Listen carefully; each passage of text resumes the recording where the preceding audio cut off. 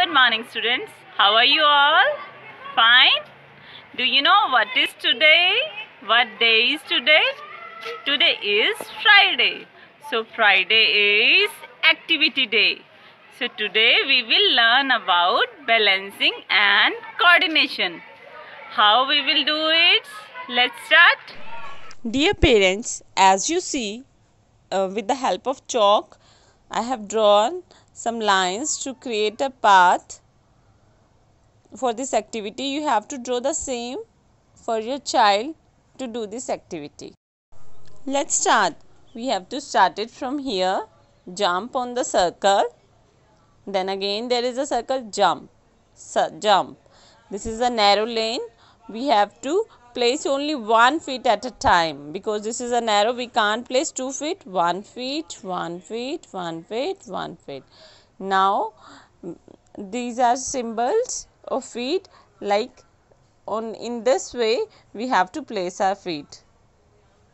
Horizontal vertical horizontal vertical horizontal vertical and then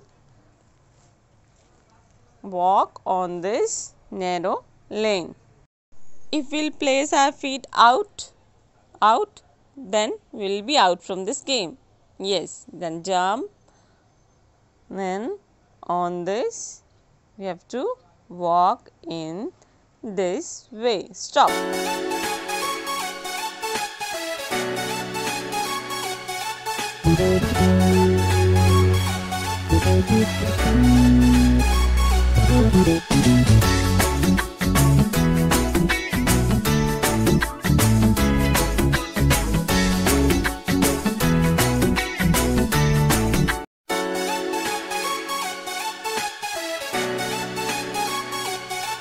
Did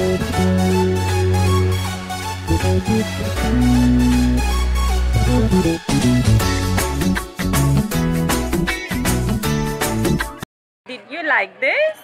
Yes? So, parents, please make this for your child and they will do it and it will improve their balance and coordination. Thank you.